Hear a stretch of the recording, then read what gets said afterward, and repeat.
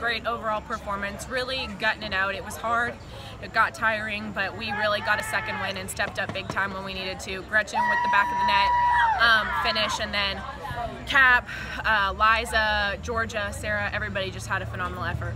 And then open up SEC play Friday. Um, obviously, a big time matchup anytime you open up SEC play. Just talk about um, looking forward to that matchup with the Tigers. We're excited. We're, we're ready for it, and I think that this is a really this was a really good first test of how we can gut it out and we can we can win. Um, and we're excited to be at home and ready to show uh, the SEC what we're made of.